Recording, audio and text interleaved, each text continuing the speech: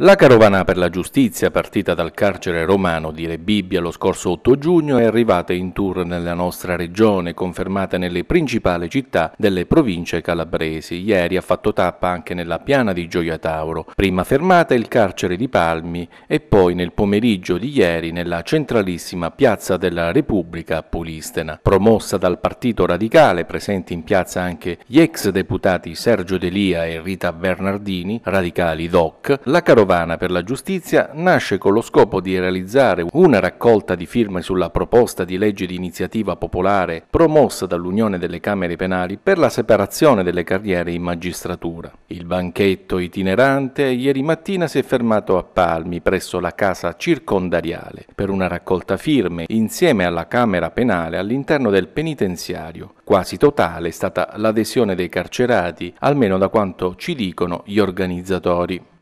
Rita Bernardini nuovamente in Calabria per portare avanti una proposta di iniziativa popolare, la legge per la divisione delle carriere. Sì, una legge fondamentale come partito radicale che ci ha seguito nei decenni sa che ci abbiamo provato più volte ad affermare la separazione delle carriere dei magistrati attraverso la via referendaria eh, purtroppo nel 2000 quando si votarono i referendum che comprendevano la separazione delle carriere ci fu qualcuno che invitò gli italiani ad andare al mare eh, per far saltare il quorum. Per cui da una parte vincemmo il referendum perché i sì furono tantissimi, il 70%, ma dall'altra il referendum fu invalidato perché furono troppo pochi, nemmeno il 50%, i cittadini che andarono a votare, quindi fu soprattutto un problema di informazione. Adesso però noi abbiamo una realtà, e cioè che nella nostra Costituzione all'articolo 111 c'è proprio scritto che il giudice deve essere terzo fra accusa e difesa. Avvocato Milicia, le Camere Penali eh, impegnate in prima linea per la raccolta delle firme, per la divisione eh, delle carriere nella magistratura. Come sta andando e che clima c'è?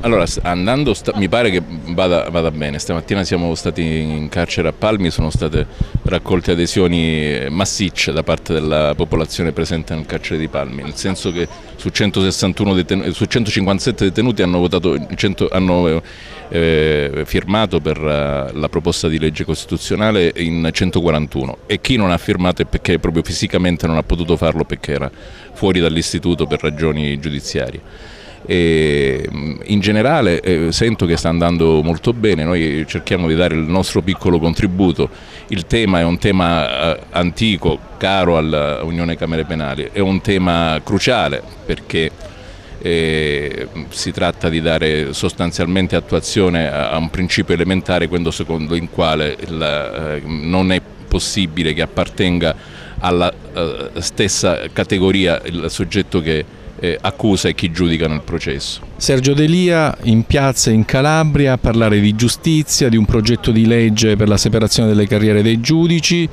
eh, ma non si rischia in una terra come la Calabria di, mh, dove la magistratura ha un impegno importante di eh, catalizzare gli interessi della malavita? No, non è questo esattamente il contrario. Io non uh, mi rassegno al fatto che in questa, in questa, terra non si possa fare impresa, non si possano creare posti di lavoro perché esiste la spada di Damocle delle indagini per mafia, per, per Ndrangheta. L'alternativa all'Andrangheta non è l'anti-Ndrangheta, ma il lavoro, la possibilità per questa terra di poter produrre lavoro, creare posti, posti di lavoro nel rispetto della legge, nel rispetto dello Stato di diritto. Questa è una terra dove lo Stato sembra assente se non in maniera emergenziale, in maniera militaresca, eccetera.